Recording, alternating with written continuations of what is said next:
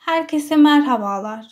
Sofart Sanat Sepet serimizin bu bölümünde feminizm ve antikapitalizmin bir simgesi haline gelmiş olan Frida Kahlo'nun trajik hayatını, sanat anlayışını ve eserlerini konu alıyoruz.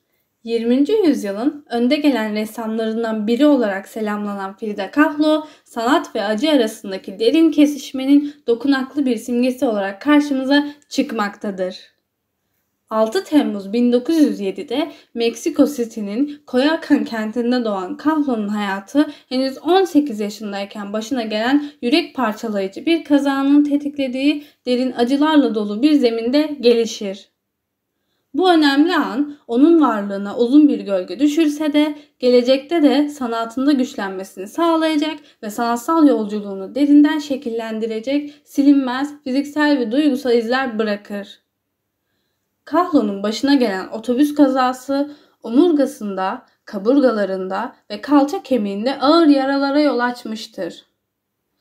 Pek çok ameliyatın ardından ömür boyu süren kronik ağrılarla boğuşur. Sanatında sesini bulan amansız bir yoldaş olur. Katlandığı fiziksel işkenceye rağmen Kahlo'nun dayanıklılığı ve yaratıcı ruhu yılmadan büyümüş, hiçbir zaman kaybolmamıştır. Kahlo'nun tuvalleri onun çektiği acının bir aynası haline gelir ve her bir fırça darbesi onun katlandığı ıstırabın dokunaklı bir kanıtıdır. Unutulmaz ve ham otoportreleri onun fiziksel ve duygusal acısının derinliklerini ortaya koyar. İki Frida ve Kırık Sütun gibi eserlerinde içten bir dürüstlükle yankılanmakta olan bu durum onun varoluşunun iç gerçekliğini gözü kara bir netlikle yakalar. Bu kendini açığa vuran resimler Kahlo için yalnızca bir arınma aracı olmakla kalmaz, aynı zamanda izleyicileri onun iç dünyasının çalkantılı manzarasına da davet eder. Ancak bir süre sonra hayatının yarattığı kargaşanın ortasında kalan Kahlo, teselliyi Meksika mirasının ve geleneklerinin canlı dokusunda bulur sanatını doğa unsurları ve yerel motiflerle aşılayarak eserlerine salt acı temsilinin ötesine geçen bir derinlik kazandırır. Kahlo'nun Meksika folkloruna dayanan canlı renkler ve sembolizm kullanımı sanatına karmaşıklık katmanları ekleyerek onun kültürel kimliğiyle olan derin bağını yansıtmaktadır.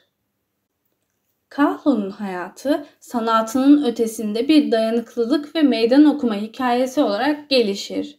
Her tuval onun içindeki kendi şeytanlarıyla yüzleştiği, acısını bir güç ve güç ışığına dönüştürdüğü bir sahne haline getirmektedir. Sanatçı arkadaşı Diego Rivera ile tutku ve çalkantılarla dolu kompleksli ilişkisi de bir yandan hayatının anlatımını daha da zenginleştirir. Karşılaştığı zorluklara rağmen Kahlo'nun sanatına karşı olan sarsılmaz bağlılığı ve boyun eğmez ruhu onu ileriye taşımıştır. Kesilmiş saçlı otoportrede ve eserlerinin tamamında Kahlo'nun yılmaz ruhu parlar. Bu insanın dayanma, aşma ve zorlukların yıkıntıları arasında güzelliği bulma kapasitesinin de bir kanıtıdır. Kişisel acıları evrensel dayanıklılık ve umut ifadelerine dönüştürme yeteneği nesiller boyunca yankı bulur ve kültürel bir simge olarak statüsünü güçlendirir. Frida Kahlo'nun dünyasını araştırırken yalnızca insanlık durumunun kırılganlığını değil, aynı zamanda olağanüstü dayanıklılık ve yaratıcılık kapasitesini de hatırlarız. Onunki bir acı ve zafer hikayesi zorluklar karşısında sanatın dönüştürücü gücünün bir kanıtıdır. Kahlo'nun mirası insan ruhunun zorluklarını aşma ve en beklenmedik yerlerde güzelliği bulma konusundaki kalıcı gücünün ebedi bir hatırlatıcısı olarak hizmet etmektedir.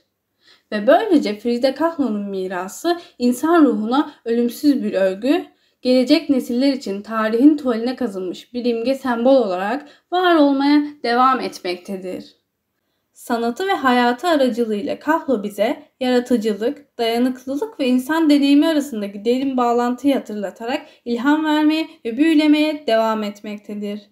Sofart Sanat Sepet serimizin bu bölümünde Frida Kahlo'nun hayatını öğrendik. Bu gibi farklı serilerin devamı için abone olmayı ve videoyu beğenmeyi unutmayın. Siz başka neler görmek istersiniz? Yorumlarda buluşalım. Hoşçakalın.